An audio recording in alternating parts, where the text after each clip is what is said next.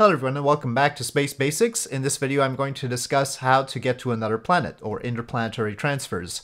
And this is a complicated topic and we'll just be going through the, well, the basics of it rather than demonstrating it this time. And of course we are here taking a look at our solar system. This is the real solar system. Uh, so Uranus, Neptune, Pluto out there, uh, Saturn, Jupiter, and as we zoom in quite a bit, Mars, uh, there's various asteroids and Vesta and Ceres there. And then Earth is the blue line there, and then Venus and Mercury. So there are planets inside Earth's orbit, and there are planets outside Earth's orbit. And those will take sort of slightly different techniques to get to. But we'll first take a look at Mars, which is a very popular destination. Uh, so that is our focus. And starting with that focus, we need to talk about how to first depart Earth. And the goal here is to make sure that we are departing Earth in the velocity of Earth's orbit. So actually, let's focus on Earth here. Earth is going around the sun this way, counterclockwise.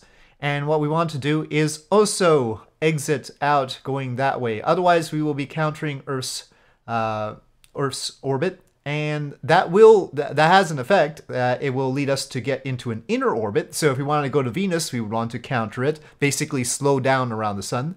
So going inside we slow down around the sun. But to get to mars we want to speed up around the sun. And so we're going to go along with earth's orbit the same as when we are getting into a higher orbit around earth itself. We want to go along with our existing momentum around earth and so we go prograde as so we go along with our existing velocity. And so since our existing velocity around the sun is the same as that of Earth's, we will go around, we will sort of exit out this way, but we'll uh, boost up, we'll increase our energy a little bit, and that will lead us to sort of an arc like this. In fact, let me uh, use the pen here. So if I can draw this properly. So we already have a lot of speed thanks to Earth around the Sun, and we don't want to mess with that too much. Uh, sort of like that. And then we want to encounter Mars like this. Why do we want to encounter Mars like this? Well, Mars is going to be going around this way like this. And what we want is when we reach Mars, we want our speed to be going in the same direction, that ways, basically. And so if we instead encountered Mars here, let's say we go really fast, we could do that. So this would be a faster trip, right? It's a quicker, it's a smaller line around the sun, so it's a faster trip. Uh, but our velocity would be going that ways, right, along with this line, but Mars's velocity would be going this ways at that point. Okay, and that gap is going to increase the amount of uh, delta V, the increase the amount of propellant we need to slow down around Mars. If we are going in the same direction as Mars, then that will decrease the amount of propellant we need to get into Mars orbit if we are using propellant to do that. But in any case, if we're using aero capture, like I talked about in a previous video, if we're using aero capture, that will also decrease the amount of heat and stress that we uh, experience when trying to capture around Mars. So we want to generally be going in the same direction, both out of Earth and when we arrive at Mars. And this sort of transfer, which is basically a semicircle around the sun, half well, a semi-ellipse really, a semi-ellipse around the sun is called a Hohmann transfer. And it's generally considered uh, barring certain very complicated techniques uh, involving Lagrange points and all, this would be a very efficient transfer. So that's a very efficient transfer, but it takes some time because it's half an orbit around the sun basically. And so if you want to get there fast, you're going to need to spend a whole lot more delta V, a whole lot more propellant to like meet it up with here or here uh, you can, but it, it gets really high really fast as far as how much fuel you need. And we can take a look at that. There are plots to see how much propellant you need to get from one place to another. And one mod for Kerbal Space Program that lets us see this is Transfer Window Planner. And so if we want to go from Earth to Mars, and we're going to get into a tight orbit around Mars, so let's plot this. And you can see the time of flight is restricted to between 129 days, that would be very fast, and 388 days, which is very slow. And the blue areas are the optimal points. And you can see there's actually two related optimal points here, but then there's this red zone. At the optimal points, uh, this is the best one right here, it says that the amount of speed we need to eject out of Earth with is 3,958 meters per second. So that is, after we get into Earth orbit, that is how much additional we need. And then when we get to Mars, this insertion delta V is how much we need to slow down and get into a tight orbit around Mars. Again, you might be able to aero capture using a heat shield and save yourself that amount. So they have a no insertion burn option, which says flyby, but it could be for an aero capture as well. And in that case, they won't show you the injection delta V. And that, uh, since it's not taking the delta V it takes to get into Mars orbit into account, that changes when the uh, the best time to go is. Because if you don't have to worry about capturing around Mars, then maybe there's a different opportunity that is optimal. And we see that that's the case, though it's generally in the same region, right? It's obviously around here-ish, this is the right time, and this is very obviously the wrong time. So, but let's say we want to manually capture around Mars using our engines, then we've got two optimal points here, and the total delta V that's required is 6,705. But take a look out here, as I move my cursor here, this red region is 58,000. 58,000 okay?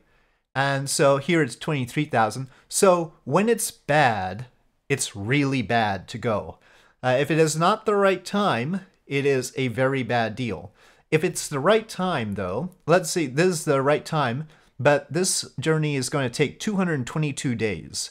Let's say we want to speed it up, but I want it at the right time. Now, this is a longer trip. This y-axis is travel days.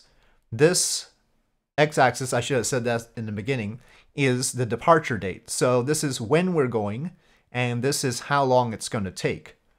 So here, it's going to take a long time, but it's still a good amount of delta V that we're going to take. So a good amount of propellant that we're going to need. And same here. So there's two points, one that's quicker, one that is slower, one that's probably more appropriate for like cargo, and one that's probably more appropriate for crew, but we're talking about 222 days. But if you want to go faster than this, let's say half a year, then immediately you're going to tack on another 2,000 meters per second here.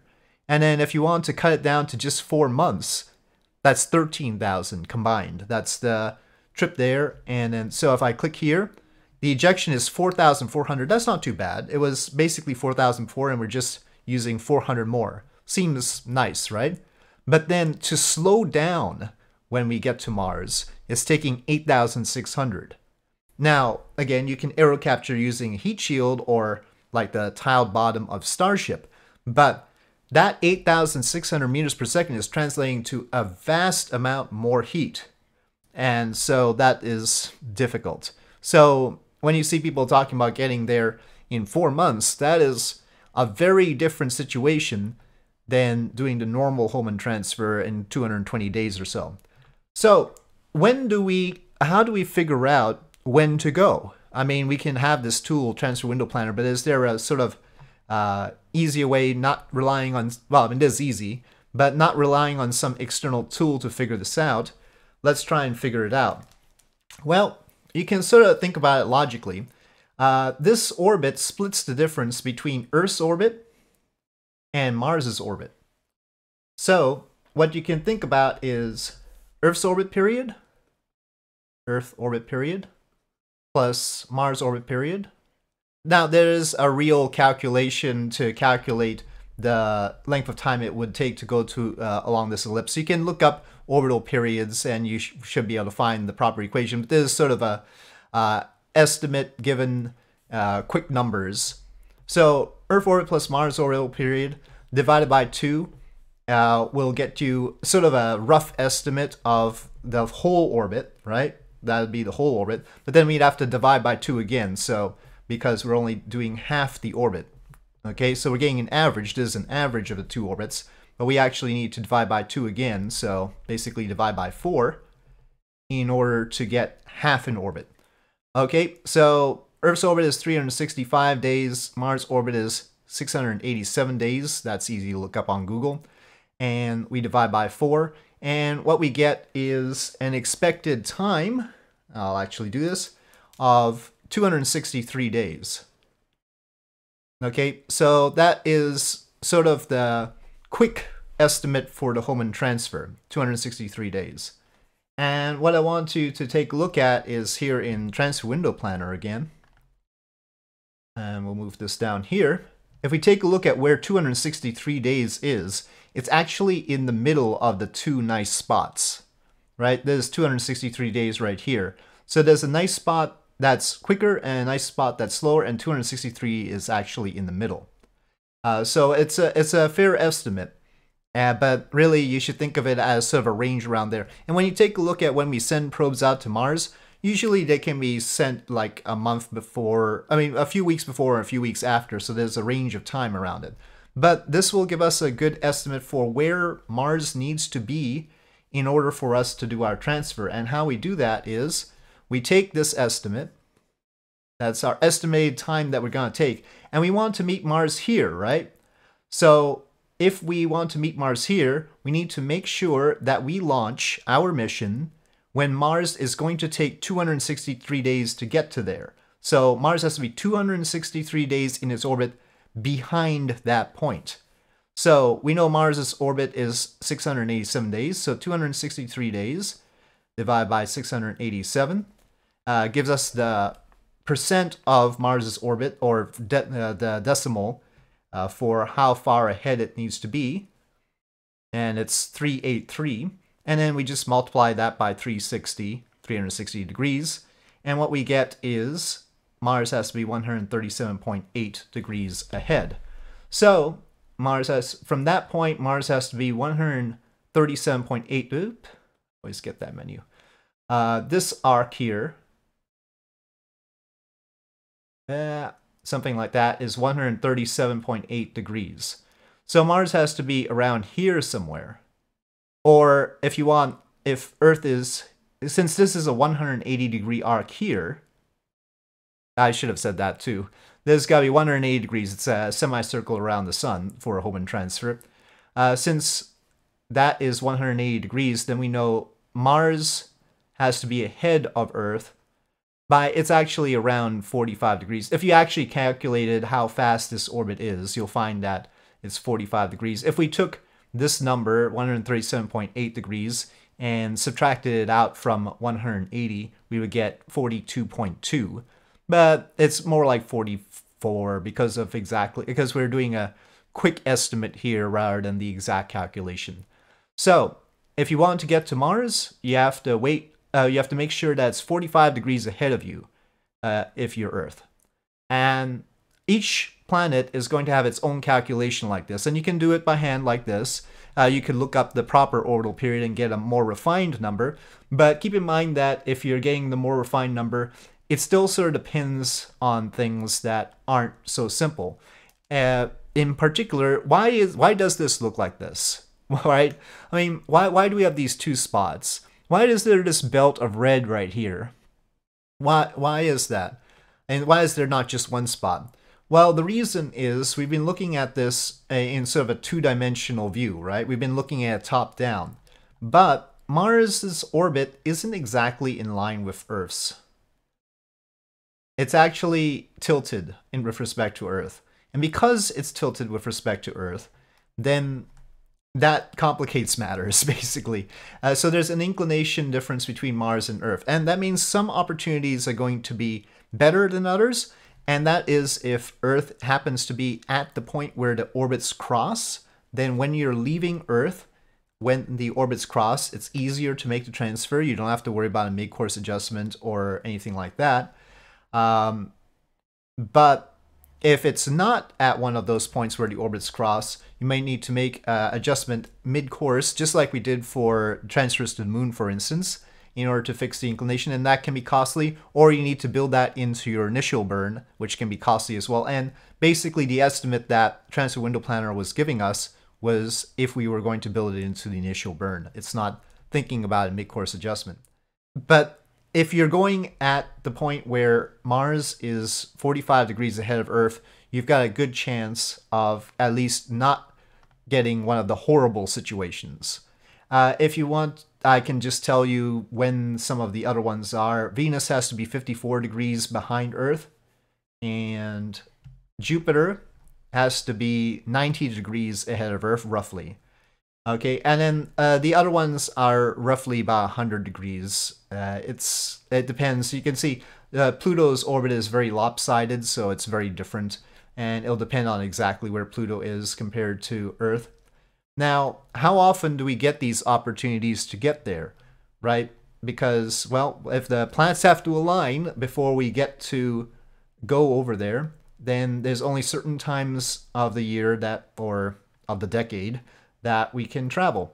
And for the outer planets, it's actually easier because they're going so slow compared to Earth that really is just about one year between opportunities. Uh, for Jupiter, Jupiter is the closest one in as far as the outer planets, and so it's more like 13 months instead of 12, but otherwise it's basically just every year you get a chance. But for Mars, or for anything that is close to Earth's orbit, whenever Earth is getting closer to it, like right now we have to get over to Mars because we want a 45 degree angle. We're a little bit behind right now. Earth will catch up. That opportunity will happen soon. But you can see that as Earth is catching up, Mars is sort of running away. And because Mars is sort of relatively quick compared to some of the outer planets, the opportunity actually takes a lot longer to set up and it's about 26 months, or two years and two months. So things that are closer to Earth's orbit, the ideal Hohmann opportunity takes longer to set up. Now, how do we actually transfer out of Earth? So let's say we are in Earth's orbit here, and we need to keep an eye on Earth's actual motion around the sun. So I'm going to keep Earth's motion around the sun at 12 o'clock, or uh, that way up in front of us and the opposite direction at 6 o'clock or behind us. And generally, we want to start in a relatively low orbit. We don't want to be in a high orbit for reasons I don't want to describe right now. Uh, so we're starting in a low orbit, and we want to go out that way, right? Well, what we want to do is do the burn sort of like this. Like that. So it's going to be at this point. And it depends on how fast you can do the burn. You know, how long is it going to take your engines to uh, complete this sort of move? Uh, basically, you're expanding your orbit, so it's going to go like that up. So, you know, we get a higher and higher orbit. And then eventually it's going to be escape velocity. So what happens is... The pin back. Okay. Instead of having a closed loop... Uh, sorry not in a good line drawing day, I suppose. Okay, uh, instead of having a loop like that, once we reach escape velocity, it'll be sort of an open thing. Like that. It'll sort of break the opposite end. So that th this is uh, escape velocity.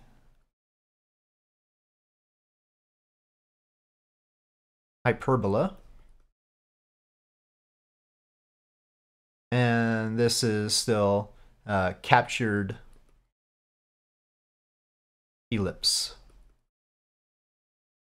Okay, so the ones that are snapped are hyperbolas. And in order to get to escape velocity, it's about, we'll say about, 11,000 meters per second or uh, 25,000 miles an hour.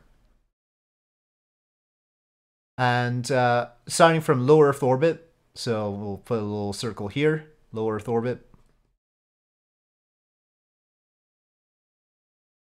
That was 7,800 meters per second, or around 16,000 miles an hour, roughly. Uh, so most of the work that you do is just getting into low Earth orbit. Going from here to up there is actually, you know, less less than half of the trouble. Uh, except you have to have expended all the fuel to do this first, right? So that's the trouble. And so low Earth orbit is really the gateway to everything else, but uh, we haven't really gotten much farther recently. Anyway, so the point is that if we want to go into the higher orbit, it's uh, very similar to the way we transfer to the moon. Uh, so if we were to transfer the moon, we'll also sort of be on this side and head on out, and we have to take into consideration how long our burn is going to be. So we'll start around here to do our actual burn, and it might take all this time in order to actually get the let's say 3,600 meters per second it takes to get a Mars trajectory. Uh, could be 4,000 depending on the opportunity that we have and, and how fast you want to get there. The faster you want to get there, the more you're going to have to spend on this. Yeah, that's to uh, so that's outward bound, uh, outer planets, outer planets, and Mars. And so this is Earth's motion. around the sun. Okay, and then to get to the inner planets, we'll start here and go directly against Earth's motion. We're not gonna make any bones about it. We're gonna go this way. And this is similar to coming back to Earth from the moon. And so this is to Venus and Mars. And Venus will take cost, uh, sorry, Mercury, sorry. Uh, Venus will take about the same as Mars does as far as the transfer costs. It's about 3,600 again. Uh, you know what?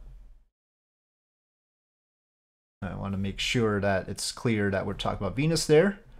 About 3,600 meters per second, uh, meters per second to Venus. Uh, this is to Mars. Jupiter, you're expecting uh, 6,000 to 7,000. Uh, Saturn, assuming no gravity assist, 7,000 uh, to maybe 8,000, let's say, just to be safe. And uh, Uranus, Neptune, Pluto. Uh, 8,000 plus. I mean, 8,000 to 10,000 tops, really. Uh, 8,000 would probably do it. You're getting close to solar escape at 10,000, which gives the idea that the the velocities tend to be, you know, pretty tight to each other when it comes to going to other planets. Remember, just getting into orbit around Earth costs 7,800 meters per second. That's just low Earth orbit. So once you get into low Earth orbit, you just have to spend about the same amount to get to Saturn. The problem is you had to lug all that stuff to low Earth orbit. So that's the rub. Uh, yeah. But when we talk about Earth's gravity well, it's a pretty substantial well. And here's the fun part. Once you get out of it, once you get to escape velocity, 11,000 meters per second or so, and uh, by the way, those estimates in, uh, sort of include those estimates like 6,000, 7,000 to get to uh, Saturn are just from low Earth orbit. So they include the amount it takes to escape from Earth's uh, sphere of influence. So the thing is, once you do escape from Earth's gravity well and use that 11,000 meters per second, including the amount that it takes to get to orbit, uh, you are just in another orbit just like Earth's. Uh, Earth-like orbit. Uh, maybe a little bit lopsided. Your position with respect to the sun has not changed very much. Uh, that's horrible. Okay, you get the picture. You're basically in Earth orbit. It's just a little bit offset. And but fortunately, it doesn't take that much more to get to Mars. Uh, getting out there costs about 3,300 meters per second, and then it takes maybe 400 meters per second more to uh, finish the transfer to Mars. So yeah, as long as you're going in the right direction. Now, what what does it mean if you are askew? Looking at Earth here. Let's say we're in orbit, but we do it at the wrong time. And instead of going like that, which is what we're trying to do, we want to go out like that with Earth's velocity like that. Instead of doing that, we go out like that. What does that mean? Well, what that means is we're sort of skewing our orbit one way, and that's what we would do if we are uh, we are going at the wrong time, or we're trying to meet up with Mars at an inopportune point. So instead of meeting up with Mars over here, halfway around the sun, we would be trying to hit it over here, uh, or some askew point. And so that's gonna cost more when we get there too. But yes, that would be the situation where the timing is off and or we want to get there quicker. So I'm just trying to think about if there's anything else that we need to cover here. So we've got the phase angle. You'll hear the term phase angle. Phase angle is just the angle between the planet and Earth. So where, let's say where Mars ought to be for the transfer, where Earth is. And the center is the sun. This angle is called the phase angle. And so you can look up the phase angle to transfer to other planets. And as I mentioned, for Mars, it's about 45 degrees.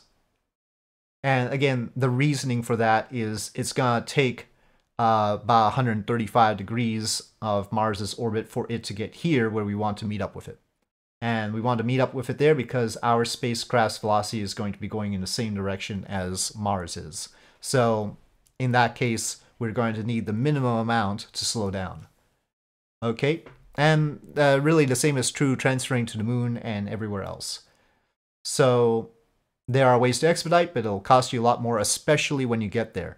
You might not think it costs a lot when you go out because you know the delta v that cost up front is very low. But when you actually reach the location, you're gonna find out that the delta v cost to slow down is gonna be extremely high. So you have to keep that in mind. That's uh, one of the tricks with gravity assists. So I guess the last thing is I'll just briefly mention the logic of how to figure out a Jupiter gravity assist. First of all, you have to be at the right time to transfer out to Jupiter. So Jupiter is going to be 90 degrees ahead of Earth, basically. Uh, but once you get to Jupiter, if you want it to slingshot you to some of the other planets, obviously, if uh, Earth is 90 degrees behind, it's going to be here, and then we're going to sort of meet up with Jupiter over here, right, halfway around the sun. So it's going to be here, and then it's going to slingshot us that way. So the planets that we want to get to had better be over here somewhere, right? Saturn, by the time we get to over here, Saturn had better be over here or Uranus had better be over here, or Neptune over here, or Pluto over here, right? Uh, they have to be, maybe uh, you could budget and they have to be sort of in a funnel, a region like that.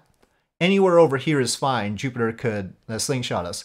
But if Saturn is still back here, let's say, there's no way Jupiter is going to slingshot us to Saturn because it's behind now, right? It has to go in the direction of motion. We're leaving Earth here flying out, and then encountering Jupiter. Jupiter's gonna slingshot us this way. Okay, that that is the direction. It could uh, go steeply. It might even be okay to go out to Uranus if Uranus is over here somewhere. That's possible. The one thing it can't do is it cannot slingshot you behind, right? Again, there's a whole region of space where it can't do. So the timing is so you have to make sure that those planets that you're trying to get to are sort of in the region where Jupiter can slingshot you to. That's just a rough idea. But as far as the timing for that is concerned, first, you need to make sure Earth is behind Jupiter by about 90 degrees or somewhere around there so you can make a transfer to Jupiter. And then you have to make sure the target planet is going to be where it needs to be uh, for Jupiter to shoot you out to it. And Jupiter's orbit is about 12 years.